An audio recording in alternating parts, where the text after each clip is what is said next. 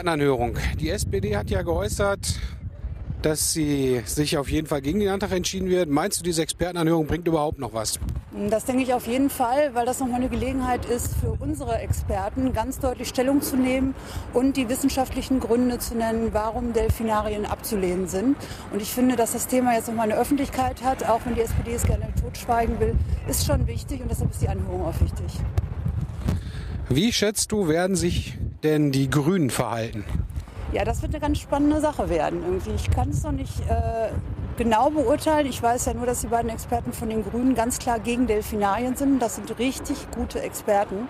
Ich könnte mir vorstellen, da der eine Experte das Säugetiergutachten angreift, dass ähm, sie ähm, sich bei unserem Antrag auch ablehnend verhalten, aber einen Alternativantrag einbringen werden. Das machen sie ja häufig, unsere Anträge ablehnen, um dann fast das Gleiche irgendwie selbst einzubringen. Der, ähm, ich könnte mir vorstellen, dass es dann darauf abzielt, dass äh, die Duisburger endlich ihre Dokumente rausrücken müssen, dass die Landesregierung dazu verpflichtet wird, ein neues Expertengutachten äh, zu erstellen, ganz speziell zum Duisburger Delfinarium und dass das der Weg der Grünen sein wird. Sie können sich allerdings sicher sein, wenn Sie den Antrag ablehnen, wir werden eine namentliche Abstimmung machen. Die sollen sich alle schön für Delfinarien bekennen und unseren Antrag ablehnen. Gut, ihr müsst jetzt noch die Experten vorbereiten. Wir sehen uns dann nach der Anhörung nochmal und dann frage ich dich, wie es gelaufen ist. Alles klar, bis später.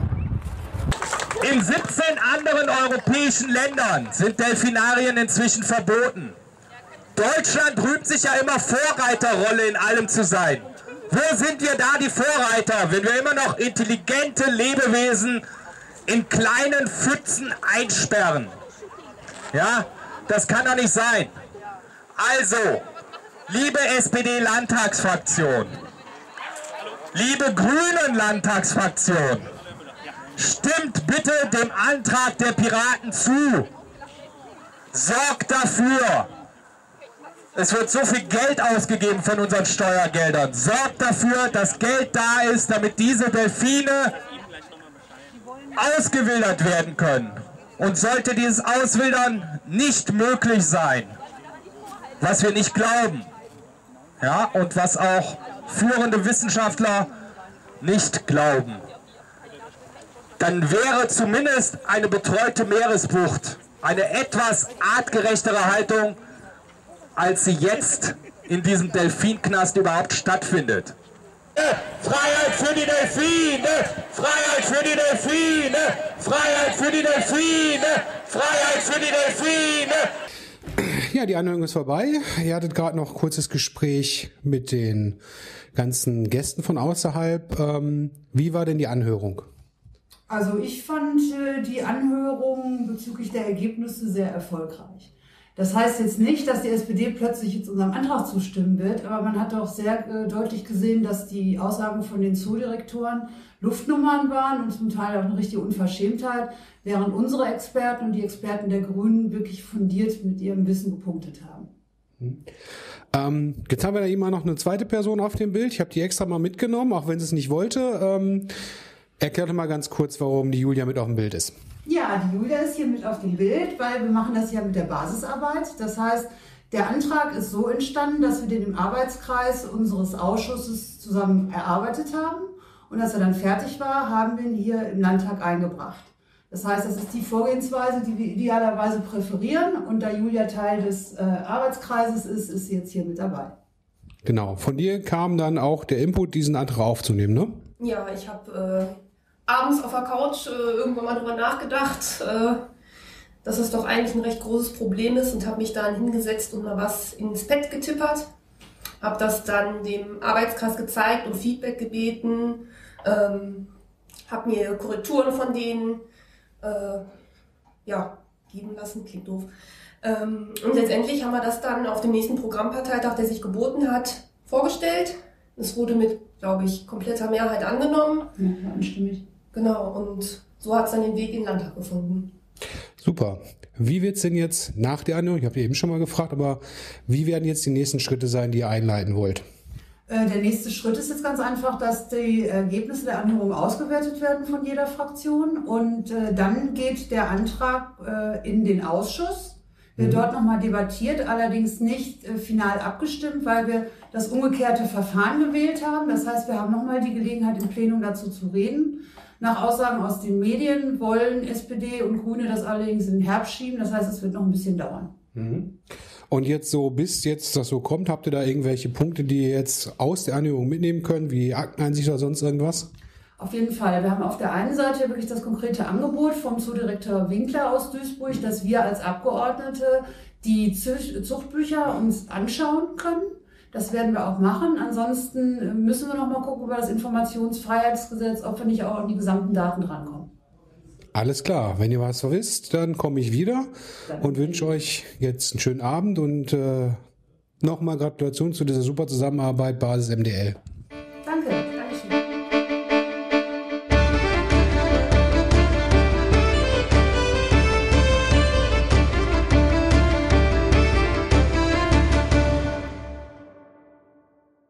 So, hallo nochmal zusammen. War eine längere Session als geplant, äh, was ich aber sehr gut fand, weil ich hatte eigentlich erst den Eindruck gehabt, dass äh, die das Thema möglichst schnell abbügeln wollen, weil es war ja eigentlich von 14 bis 16 Uhr angesetzt und habe mich dann auch sehr gewundert, dass der Ausschussvorsitzende, wir waren ja vorher noch in einer kleinen Runde zusammen, mit uns Obleuten gesprochen hat und gesagt hat, nee, wir können so viel Fragerunden, wie gebraucht wird, können, können wir auch durchziehen. Das fand ich jetzt eher ungewöhnlich und fand ich aber auch sehr gut. Ähm, ich fand auch die, die Statements zum Teil sehr bezeichnend, sowohl im Positiven, eben die Aussagen wie zum Beispiel von Herrn Entrup, als auch im Negativen, das doch sehr substanzlose, was da zum Teil, oder teilweise auch unverschämte, was von den Zoodirektoren da losgelassen wurde. Also so Highlights, ich habe das gerade schon gesagt, wie äh, Chlorwasser ist ja auch viel besser als die dreckige Brühe, wo sie draußen schwimmen. Oder ähm, oder wir benutzen ja auch einen Regenschirm und ein Regencape. Wieso sollen die denn irgendwie Regen spüren? Also es ist schon ziemlich krass. Ansonsten ähm, danke, dass ihr alle hier wart, dass ihr das praktisch schon seit 12 Uhr begleitet habt. Finde ich total klasse. Und wir werden uns euch natürlich auf dem Laufenden halten, wie es weitergeht. Ansonsten machen wir jetzt lockere Runde, denke ich. Darf ich noch eine Sache? Hm? Ich wollte noch eine Sache ganz kurz sagen, weil da vorne zwei Mitglieder aus unserem äh, Arbeitskreis für Tierschutz, Umwelt und Naturschutz sitzen und ähm, der, der Antrag ursprünglich auch mit von denen initiiert worden ist.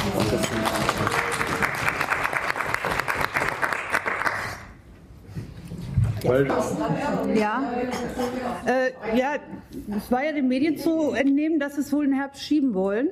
Hätte, hätte, müsste man nicht. Man könnte auch sagen, wir gucken jetzt den nächsten Ausschuss und dann das nächstmögliche Plenum. Also es wäre auf jeden Fall noch vor der Sommerpause.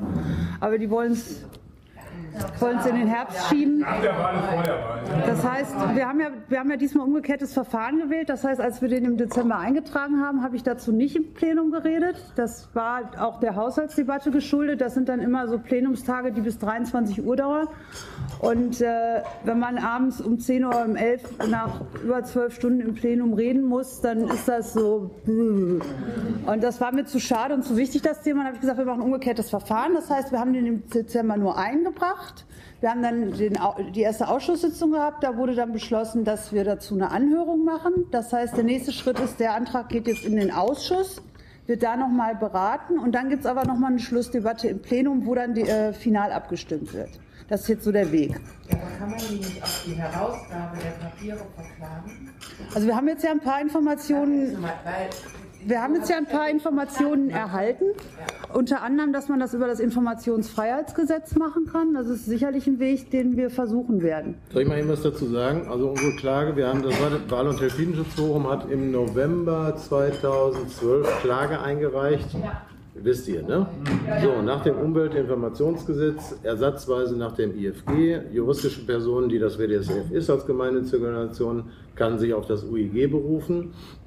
Wir waren ja schon beim Verwaltungsgericht, wo, uns, wo wir die Stadt im Visier hatten, aber der Richter uns bestätigt hat, nee, die Stadt hat keinen Beschaffungszwang oder keinen Beschaffungsauftrag äh, und muss das auch nicht machen. Aber dann habe ich mir dann in das Urteil, in die, in die, Einstellung des Verfahrens bei der Stadt reinschreiben lassen, dass auf jeden Fall, und das haben wir nur schriftlich von dem zuständigen Richter, der auch der gleiche Richter ist der jetzigen Kammer, nämlich der 26. Kammer beim Verwaltungsgericht, der uns dann bestätigt hat, dass der Zoo auf jeden Fall Auskunft geben muss. Also das Ding ist so eine Akte inzwischen. Die haben sich da angeblich renommierte Rechtsanwälte geholt äh, die äh, sich darauf äh, berufen, dass eben die Zoo AG, die zwar zu 72 Prozent zur Stadt Duisburg gehört, aber eben eine autonome juristische Gesellschaft ist und nicht zur Auskunft verpflichtet wäre. Das würde im Klartext bedeuten, dass ja jeder Verein oder was weiß ich, jede Institution, die als Verein oder juristische Person geführt wird, überhaupt keiner Kontrolle mehr unterliegen würde äh, bei den Kommunen. Die Kommunen, die, die, das, das, Umwelt, äh, das Umweltamt ist die untere Fachaufsichtsbehörde. Die würden also gar keiner Kontrolle unterliegen. Also ich kann mir nicht vorstellen, dass die die Klage da gewinnen. Ich werde da mit dem Herrn Dr. Maisack, das fand ich interessant, was der heute gesagt hat. Da ist die Stellungnahme heute nachgeschoben worden auf der Landtagsseite. Also das ist hochgradig interessant, was der schreibt. Jedenfalls so als, für mich als Halbjurist, ich kann das verstehen. Ähm, also die Klage läuft. Wir haben jetzt eine Mitteilung gekriegt, dass da Mitte des Jahres darüber entschieden werden soll. Mhm. Parallel haben wir äh, auch Klage eingereicht, weil Münster das ja auch nicht gemacht hat. Da gab es diese Münster Delfinarien GmbH an der der Zoo übrigens nicht beteiligt war. Da hat er, also wenn das, hat er, glaube ich, verständlich rübergebracht. Ne? Also, äh, und diese Wirtschaftlichkeitsberechnung hat mein Steuerbüro gemacht. Wir haben dem damals eine Wirtschaftlichkeitsberechnung, 10 DIN A4 Seiten vorgelegt, aufgrund der Daten, die uns zur Verfügung standen. Und siehe da, ähm, die waren defizitär mit ihrem Delfinarium. Das heißt also im Klartext, die sind viel besser klargekommen, nämlich mit einem Plus von 78.000 Euro. Äh, wenn sie das Delfinarium schließen. Also da konnten sie auch nicht mehr ganz dran vorbei. Die werden natürlich den Teufel tun und sagen, hier, der Ortmüller hat uns da irgendwelche Zahlen vorgelegt. Das war aber abgesiegelt. Ne? Und so das Steuerbüro ist eben äh, gutachtensberechtigt in dem Fall. Aber die Duisburger haben ja auch, arbeiten ja auch mit Minus. Äh, das ist dramatisch. Also wir sind, ich stehe gerade mit der Bezirksregierung in Verbindung. Da steht jetzt eine Sitzung an, weil das, wir haben da ein bisschen drin rumgewühlt jetzt, dass es defizitär ist. Ne? Ähm, die Bilanz wird veröffentlicht im Bundesanzeiger. Äh, der normale Zuschuss war bisher bis 2012 2,2 Millionen. Äh, da hat aber die RWE jedes Jahr noch für fünf Jahre eine Million beigepackt. Jetzt fehlen dem plötzlich äh, jetzt sind sie noch defizitärer, weil die Besucherzahlen sind ja unter einer Million abgerutscht, 2,2 Millionen. Dann haben sie letztes Jahr noch mal eine Million draufpacken müssen, sonst hätten sie faktisch Insolvenz anmelden müssen. Und dadurch, dass die Besucherzahlen noch mal runtergegangen sind, sind sie jetzt bei 3,8 Millionen für letztes Jahr. Und dann Deswegen haben Sie ja auch den, den, den Preis erhöht und haben das Delfinarium gleich mit drin. Ja, also was ist das? Also in der Wirtschaft würde man nie die Preise erhöhen, um den Umsatz zu erhöhen, weil nämlich dann die Kunden wegbleiben. Und genau das ist passiert, 100.000 Besucher weniger. Äh, seit, drei, seit 13.04. stehen wieder fleißige Leute von uns, ich weiß gar nicht, ob jemand hier dabei ist, äh, wieder wie seit Oktober 2010 vom Duisburger Zoo. 80.000 Flyer waren es bis Ende letzten Jahres. Äh, also ich will nicht sagen, dass das ausschließlich der Grund ist, dass die Besucher weggefallen sind, aber sicherlich ein wesentlicher Teil. Denn Fernsehumfragen haben nämlich gezeigt, dass die Leute immer gesagt haben, ey, das wussten wir nicht. Wenn wir das gewusst hätten, wären wir nicht ins Delfinarium gegangen. Und diese ganze Öffentlichkeitsarbeit. Aber das zahlen Sie doch schon mit. Sie zahlen es mit. Ja, ja, sie zahlen es mit, sie unterstützen es mittelbar. Ähm, also ich will nicht so weit gehen, um generell gegen den Zoo zu sein. Ich habe immer gesagt, ein Zoo müsste eigentlich eine Pflegestation sein. Dann hätte es eine Education-Wirkung auch für Schüler was weiß ich, so ähnlich wie im Norden an der Nordsee, da gibt es so eine Robbenauffangstation. Die peppeln die auf, da können Schulklassen gucken können. Also das ist meine Vision von Zoo äh, und nicht nur die ganzen Hecken und die ganzen Tiergehege und was die da, diese autistischen Verhaltensweisen von vielen anderen Tierarten. Aber da rächt sich jetzt der Zoo immer am meisten darüber auf, dass so ein Ortmüller oder was weiß ich wäre, dass wir jetzt nicht gegen den Gesamtzoo sind. Denn man hat sich schon spezialisiert. Wir arbeiten mit Meeresbiologen zusammen. Wir können jetzt nicht alle Bereiche, dann hätten sie natürlich einen Hebel im Grunde genommen aber zu sagen. Andersrum finden das aber auch Leute, die da waren oder die so besuchen wollten, wenn man denen jetzt sagt, ja, wir sind nur gegen das Delfinarium, dann kommen die auch auf einen zu, weil viele denken nämlich, wenn man ja. davor steht, generell, aber wenn man denkt, ja, ja, das ist richtig, da hast du recht. Dann, ach so, wieso das denn? Und ja, dann ja. kann man auch mit denen ins Gespräch. Und auch überhaupt nicht gegen eine Stadt zu sein oder was, das sind ja, ja. vieles Lokalpatrioten. Die Politiker kennen das noch mehr, dass es ein ganz sensibler Bereich ist, nicht irgendwie einen wahnsinnig oder ganz viele vom Kopf zu stoßen, weil es dann nicht verstehen, was man selbst meint. Also dann irgendwo Kompromissbereitschaft. Nur bis heute hat mich weder ein Doug Enke noch ein Achim Winkler, der mich in der Presse als Tierschwätzer bezeichnet, äh, hat mich bis heute noch nicht zu einem Gespräch eingeladen. Ich würde sofort Ja sagen. Der war auch recht unprofessionell. Ja. Also der Winkler, der hat sich komplett disqualifiziert heute, der Winkler. Peinlich, ne? Ja. Ich meine, der soll ja sein Geld verdienen. Ich habe die Bilanz, der kriegt 148.000 Euro brutto im Jahr. Und hat eine Pensionsrückstellung von 502.000 äh, gebildet. Man soll ja nicht neidisch sein. Ne? Aber wenn der Zoo sozusagen fast pleite ist, also die, denen fehlten 600.000, die hat die Stadt jetzt nochmal nachgeschossen, damit sie nicht ganz abschmieren, damit sie überhaupt noch ihre Futtermittel kaufen können. Äh, jetzt tagt da die Bundesregierung, es gibt eine Konsolidierungsmaßnahme, weil die unter Haushaltsaufsicht stehen. Also denen steht das Wasser bis hier oben hin. Deswegen hatte ich ja auch schon in den Medien die Frage gestellt, Leute, was macht ihr denn mit den gesamten Tieren, wenn sonst so pleite geht? Natürlich wird dann die Kommune wieder in die Tasche greifen müssen. Also da gehe ich noch so weit, dass es meines Erachtens nach EU-Recht überhaupt nicht zulässig ist, eine unter, ich sag mal, jetzt gibt es einen anderen Begriff, eine unter Haushaltsaufsicht stehende Kommune, dass die so hohe Zuschüsse geben darf. Das hat mir übrigens die Bezirksregierung auch bestätigt, dass es eine Freizeiteinrichtung ist, wie eine Oper. Das wurde ja alles heute argumentiert, wo die Stadt überhaupt nicht verpflichtet ist, das zu stützen. Und da begreife ich jetzt aus meiner beruflichen Sicht rein, äh, um das eben zu pushen. Ne? Das andere lassen wir parallel laufen. Aber die erste Frage war wegen was wegen Informationsfreiheitsgesetz. Und mal gucken, was mit der Klage ist. Also es hat immer eine Laufzeit von ein, zwei oder drei Jahren. Jetzt da noch eine Klage draufzusetzen, bringt nicht allzu viel. Ähm, Ja, wobei ja ähm, es sei denn, sie geht in eine andere Richtung. die Direktoren gesagt haben, dass grundsätzlich äh, die Politiker und Behörden eingeladen sind, da reinzugucken und äh, das machen wir doch, oder? Und Zucht Ja, das machen wir. Ja, ja. Ja, das solltet ihr Ja, dürft nichts, nichts kopieren, aber das würde ich zumindest. Ja, aber das war ja auch widersprüchlich. Er hat gesagt, das gibt es ja noch gar nicht so lange. Aber die Franzosen rücken das nicht raus, damit nicht schon wieder damit irgendwie Sensations... mit den eigenen Daten. Also, eben, und das hat auch nichts mit den eigenen Daten zu tun. Ja. Das haben wir gehört. Delfinhaltung ist sehr teuer. Zoos machen Verluste. Allgemein. Warum hält man dann an der Delfinhaltung fest? Die Delfinhaltung ist auch dann, würde ich mal so sagen, im logischen Umkehrschluss, der größte Publikumsmagnet. Und deshalb hält man dann fest.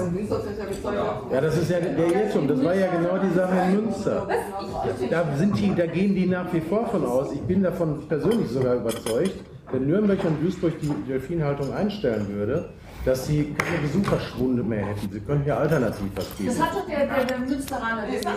Ja, das Leider nicht so deutlich, wie wir es gehofft ja, haben. der hatte Angst vor seinen Kollegen. In der Stellungnahme hat er es wesentlich deutlicher geschrieben. Da hat er halt gesagt, in einem Satz, dass seit Schließung des Delfinariums Münster 2013 es Besuchersteigerungen gab und 2014 noch mal mehr. Jetzt gerade hat er es ja leider relativiert und gesagt, ja, das hat ja nichts mit den Delfinen zu tun. So. Aber es ist das mit den beiden Krähen, ne? die sich gegenseitig kein Auge aushacken. Also, Also das ist der Punkt. ich war am Samstag in Duisburg. Hab mir da die drei Vorstellungen äh, reingezogen. Äh,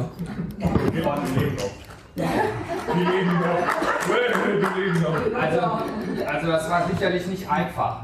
Ja, also das hat auch sicherlich keinen Spaß gemacht, insbesondere den Amazonas Flussdelfin da alleine Ja, rumlaufen das zu finde ich sehen. sehr, sehr Ja. Und mit in meinen Augen, obwohl ich kein Wissenschaftler bin, ja, aber absolut apathischem Verhalten, den Kopf immer auf das Wasser schlagen zu sehen, über zehn Minuten lang. Ähm, was ich gesehen habe, war, dass die erste Vorstellung so ungefähr drei Viertel, ja, drei Viertel voll war. Die zweite Vorstellung ausgebucht, da war kein Platz mehr. Und die dritte, ja, die war auch fast voll. Äh, ich weiß nicht, inwieweit das vor anderen Gehegen oder so ähnlich ist. Das kann natürlich auch sein, dass es jetzt nur in dem kurzen Zeitraum ist, weil es ja nur eine halbe Stunde Vorführung gibt, dass sich das da so drängt. Aber vielleicht ist es wirklich. Mal, in Münster, in Münster war das Delfinarium auch immer voll. Wir haben ja mehrfach in Münster, wir haben ja mehrfach in Münster dokumentiert, da war das Delfinarium auch immer voll. Jetzt ist es weg, jetzt ist was anderes da und trotzdem haben sie mehr Besucher.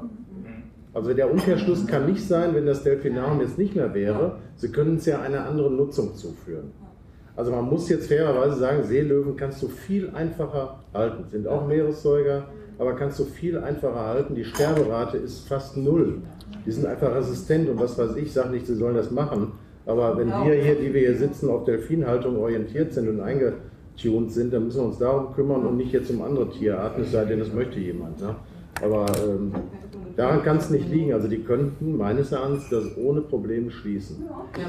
Also so, ich denke, die, die wichtigen Aussagen, mit denen wir politisch weiterarbeiten können in nächster Zeit, ist die Aussage, dass wir natürlich in alle Unterlagen reingucken dürfen. Das haben die uns ja mehrfach angeboten und dieses Angebot werden wir dankend annehmen. So, ne? Also da, da werden wir die auch drauf festnageln und das ist auch im Protokoll und das ist öffentlich und das ist gestreamt worden ins Internet. Und sowas. Ähm, und das nächste ist, was äh, der Nikolas auch gesagt hat, ähm, dass die, die Zeiträume, die die immer anführen, wenn sie je nachdem, was sie mit ihrer Statistik ausdrücken wollen, mit Lebenserwartungen und Krankheiten und Sterblichkeitsraten, suchen die sich immer andere Zeiträume aus. Also wird jetzt die Aufgabe sein, diese unterschiedlichen Zeiträume mal zusammenzuführen und zu gucken, was das über lange Zeit macht. Man redet davon, neutral zu forschen, ja? also lange, lange Zeit gesehen. Aber für die guten Sachen holt er sich einfach nur die kleinen Momente raus. Ja, also für, wir haben so zwei tote Delfine in seiner Amtszeit. Ja, das ist ja schön. Aber wie viele haben wir jetzt in der Forschung, wie viele mussten da jetzt draufgehen, so weit zu kommen, wie wir heute sind? Nur wenn man von biologischer Nachhaltigkeit spricht, da muss man einen längeren Zeitraum natürlich zugrunde legen. Da muss man eben ab 1965 zugrunde legen, auch wenn es am Anfang schwierig war, was durchaus auch nachvollziehbar war, was der Dr. Walter gemacht hat. Das war einfach ne? raus mit dem Schiff und dann zurück mit dem Beluga. Ja, und zwar die Belugas hatte ja, ja. illegal hier reingeholt. Also ich ja. finde äh, zum Beispiel das Jahr 2000, wo ja nun auch drei Jungtiere gestorben sind, finde ich gar nicht so weit weg. Ne? Das ist gar nicht so, also irgendwo ist das für mich nicht Also wir haben ja in den letzten, 20, in den letzten 22 Jahren, ich habe das Schreiben vom Ministerium hier, ne? das wollte auch wieder nach unten pushen. Ähm, es sind also sechs Tiere gewesen im Alter zwischen 11 und 32 und neun äh, fast Totgeburten, die nur ein paar Tage überlebt haben. Das sind 15 Tiere innerhalb der letzten 22 Jahre. Ne? Ja, aber die Aussage, die er getroffen hat, dass sie in ihrer natürlichen Umgebung, dass das ein Drecksloch ist, das war das top. Kein, kein Immunsystem haben, also Entschuldigung. Und dass die Babys in der freien Natur auch weggesperrt werden. Ja, wo kommen die denn hin? In den Kindergarten? Hallo? Das ist ja in Tai Chi, wenn die großen Kreuzhaber, das sind immer Babys. Letztes Jahr, letztes Jahr auf den Malediven habe ich sie live gesehen und da waren die Babys mit in der Gruppe. Also da kann ich immer nicht erzählen, weil einfach nur Schwachsinn ist. Niklas, wolltest du noch was? Ja, ich wollte sagen zu diesen Lebenserwartungsstudien. Ähm, das Wichtige ist, dass die Erstselektion bei den Wildfängen, da ist die hohe Sterblichkeitsrate. Und die Selektion hat vor Jahrzehnten stattgefunden. Ja? Und dass dann in einem Zeitraum die Tiere, die das überleben, die sozusagen diese wirklich schwierige Situation, sich da irgendwie einen Weg finden, da zu überleben, die erreichen natürlich auch mit veterinärmedizinischer Unterstützung ein hohes Lebensalter. Ja. So, und wir sind jetzt genau in dieser Phase, ich habe das versucht irgendwie rüberzukriegen, dass der Bestand in Gefangenschaft hält sich, weil Delfinalen geschlossen haben. Das heißt, die wurden mhm. umverteilt. Ja. Das sind aber alles sehr, sehr alte Tiere. Deswegen kommt man ja auch ab einem gewissen Zeitraum zu einer höheren Lebenserwartungsberechnung. Und ich würde die Frage umdrehen. Ich würde fragen, wenn, wenn ich keine Fischernetze habe, keine Ölverschmutzung, keine Nahrungsknappheit, keinen Lärm und was der Teufel was, ja, warum werde ich nicht viel älter? Das ist der Kernpunkt. Ja. Von der Nachzucht her, es gäbe, also die Studien, die Sie zitiert haben, also der eine hat doch gesagt, ein, die, die, die durchschnittliche Lebenserwartung verliert man unter zehn Jahre eine ja. Ich meine, wenn Sie mit acht Jahren reproduktionsfähig wären, das geht überhaupt nicht. Da mhm. gäbe es auch keine Population. Also das sind viele Dinge, die ganz, ganz schlecht sind. Aber trotzdem würde ich raten, nicht nur die Lebenserwartung, weil auch wenn sie, auch wenn sie länger leben, es geht um die Lebensqualität. Ja, das ist wichtig. Ja, ja. Wie sieht das denn aus mit der Inzucht? Weil äh, jetzt ja. hieß es ja auch, äh, wenn ich es so richtig verfolgt habe, Wildfänge sind ja verboten und und und, ist alles gut. Ja, also Aber das heißt ja quasi, dass die untereinander, wie dann auch bei anderen Tierarten üblich ist, tauschen müssen. Das heißt doch eigentlich, dass die Tiere alleine von ihrer körperlichen ja, Konstitution, von, von Krankheitsbildern und, und, und eigentlich ganz anders zu bewerten sind als Tiere in der freien Natur. Oder ja, ja. Naja, also die, die haben ja den Fehler gemacht, also nur aus ihrer Warte jetzt. Nehmen wir an, die wollen züchten für die Arterhaltung. Dann dürften sie nicht aus unterschiedlichen Ozeanen Tiere kreuzen. Das ist, das ist ein Problem. Ja. Ähm, das zweite kurz zu diesem Zuchtbuch, das ist für euch auch wichtig. Duisburg hatte das Zuchtbuch jahrelang als Mhm. unter Als den Fingern von ja. Herrn Hartmann. Ja. Also Hartmann war Zuchtbuchkoordinator. Ja. Das heißt, hier sich hinzustellen und zu sagen, es liegt nicht bei uns, wir können keine Daten veröffentlichen, das ist ganz dreist. Also, also das ist, das ist zusätzlich. Ja, wir haben auch 2008 war Hartmann. Und, und Hartmann hatte das, hatte das Zuchtbuch. Ja. Und das andere ist halt, also ich finde, man muss es wirklich umdrehen, diese, die Arbeit, die sie leisten mit Wildkatzen zum Beispiel. Ja? Die Wild- und Wildkatzen Wald aus. So, da gibt es Veröffentlichungen mit, was weiß ich, 40% haben überlebt und das ist alles erfolgreich und 6% sind halt vom Jäger oder auf, der Straße oder etc. Aber die Maßstäbe, die sie hier ansetzen, da geht es nur darum, ist die Reintegration erfolgreich? Beim Delfin sagen sie, ist jetzt alles Delfinquäler, wenn ihr ähm, wollt, dass ein Delfin der Gefahr der Auswildung ausgesetzt ist. Das ist absurd. Und also ich würde sie wirklich versuchen, mit den eigenen Argumenten zu schlagen. Auch der Schweinswald. Ja. Sie haben immer in der Forschung immer auf den Schweinswald verwiesen. Haben wir nicht. Das sind große Dünger hier, ja, und. Ja. Und also, also es gibt so viele Sachen, die heute, ich fand es halt wirklich super, was die da Von sich gegeben. War gutes Material, ne? Ja. Wie Samstag auch. Wie Samstag auch. Was mir auch noch aufgefallen ist, Sie haben sich ja damit ausgebildet, dass Sie als Julia für den Das so, als Ne? Und Sie sind ja sozusagen die Retter. Das Jetzt in diesen- diesen- Was war das für ein Geier? Ja, ich vergleiche es immer so, wenn ich eine Anhörung über Drogen mache, dann lade ich mir keine Drogendealer ein. Weil was sollen die mir, was, was sollen die mir erzählen? Dass Drogen verkaufen gut ist, die leben davon. So, die werden mir keine überraschenden Sachen sagen. Also nur Zugdirektoren einzuladen ist total Banane. Es war auch ein Vogel, Moment, es war auch ein Vogelkundler, der ganz, ganz viel über Rotkehlchen und Frösche und also als Qualifikation für den Vogelkundler wurden übrigens zwei Sachen angegeben. Zum einen organisiert der Zogelpa- Zogelpark Herborn Busreisen nach Duisburg ins Delfinarium. Und zum anderen beschäftigt er sich seit 2012 hobbymäßig mit Delfinen. Gerade genauso viele Infos wie wir, ja. Also, ja, weniger. Also ich, ich, ich gehe davon aus, dass die sich eben mit NABU schmücken wollten. Und das war ja so cool, dass NABU sich distanziert hat, dass sie gesagt haben, oh, da ist jemand von der NABU und wenn die sogar für Delfinarien sind, dann muss da ja was dran sein. Und damit sind sie ja gut reingefallen. Die SPD? Jetzt von NABU? Nee, wir hatten ja alle die Stellungnahme zugeschickt bekommen, dass sich der NABU von ihnen distanziert und ich hatte Abel ja auch direkt nach vorne gebracht zum Ausschussvorsitzenden und äh, das war ja auch gut so. Also alle Stellungnahmen, auch das Schreiben von NABU, hat der Landtag jetzt heute auch nochmal oder nachveröffentlicht. Ne? Ja. Von euch noch was? Ha? War da noch was bei? Von BDSF habe ich heute Nacht noch 12 Uhr was hingeschickt. Ja, der Abel hat drauf, der Abel hat drauf bestanden. Also er hat ihm gesagt, können wir das mal hier vorlesen? Ah, Das war vom Abel. Der, der Abel war stinkend sauer. Der war Der, boah. Ja, gut. Ja, ja, ja. Grundsätzlich war das gut. Grüne. Der, der Abel ist von den Grünen, ja. Ja. Aber fand ich gut. Ja. Habe ich, hab ich das richtig gesehen, dass von der SPD nur eine einzige Person da war? Zwei. Nee, es hat zwei, ganz am Schluss nur noch einer und äh, am Anfang waren die sogar zu viert. Also in der zweiten Reihe haben auch noch zwei gesessen. Zeigt, zeigt ja auch das Interesse, ne? Also der Rädelsführer ist der etwas kräftige, das ist der Frank, Frank Börner. Der ist auch zum Vorsitzenden und hat gesagt, der Ort will er fotografieren. Ich habe mit dem doch das Gespräch gehabt am 4. März, wo ich doch die ganzen hier äh, 2000, 2345 Gramm Papier äh, Protestschreiben auf Facebook. Da haben wir uns unterhalten, da saß so eine relativ junge Sekretärin dabei. Da sagt Herr Ortmüller, zu dritt waren wir, ne? Da sagt Herr Ortmüller, den Delfinen geht so gut, die vermehren sich doch. Ich sag, Herr, also ich, mir lag was anderes auf der Zunge. Ich habe es dann mit den Mäusen gemacht und nicht mit seiner Sekretärin. Ne? Wenn, du- zwei Leute lebenslänglich einsperrst, was machen, oder Tiere, was machen sie? Sie kopulieren. Ja, weil sie es können. Weil sie wahrscheinlich sogar noch Spaß dran haben.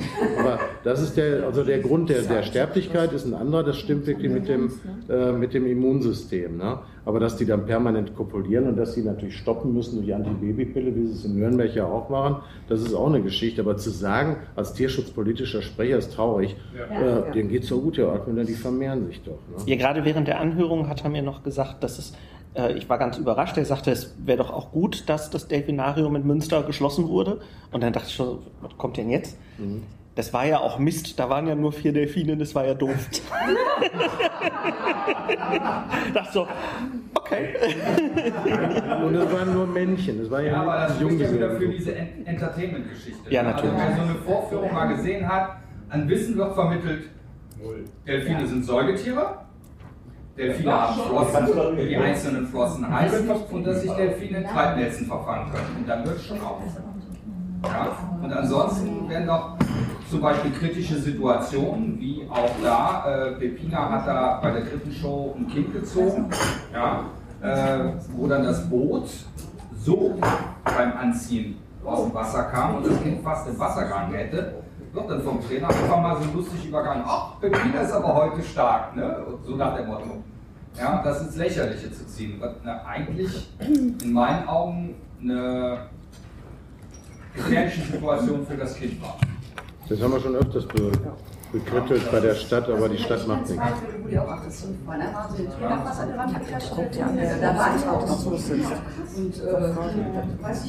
Bei der, ersten, bei der ersten Show wäre das Boot fast vor den Felsen da geknallt, der da, oder die Felsnachbildung, die da in den Becken ist. Ja, und äh, es wird auch nicht darauf geachtet, ob die Kinder jetzt da im Becken mit ihren Fingern rumplanschen, ob sie auf dem Beckenrand sitzen. Er nicht eine Rettungsweste, die Kinder? Ja, ja so, aber was nützt das? Was nützt das, wenn, wenn ein Delfin kommt, ja, der Boot der am Rand entlang, das Kind fällt aus dem Boot auf den Rand drauf, ohnmächtig ins Wasser, mit dem Gesicht ins Wasser, ist da jemand da? Der Winkler hat ja eben seine Einladung wiederholt, wir sollten ja unbedingt mal vorbeikommen. Deswegen, es konnte dann halt auch mal gucken, weil das war ziemlich, also, weil ein Bekannter von uns, der war mit so Frau und Kind da, hat dann eine Frau und Kind Schmiere stehen lassen, hat sich dann mal und er muss auch von hinten nicht sehr besonders. Können wir kombinieren, wenn wir das Zuchtbuch einsehen. Da müsste ein Biologen mit. Weigern können Sie ja. Daten rauslegen. Wenn die Politik sagt, wir müssen genau. zu unserer Fraktionsklausur jetzt. Wir, wir, machen das jetzt mal kurz ein bisschen ungemütlich.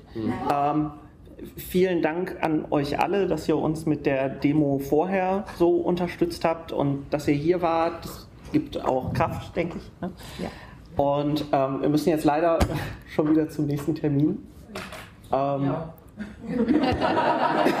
ihr auch. Wir müssen noch 300 ähm, Kilometer. Schön, dass ihr da wart. Wir halten euch auf dem Laufenden, auch mit dem, was im Ausschuss ist, gewesen ja. ist und sagen auch rechtzeitig. Aber also, ihr müsst jetzt nicht fluchtartig den Raum verlassen, also äh, ganz entspannt, ja. Also ihr könnt noch Esskekse. Und danke, dass ihr hier wart.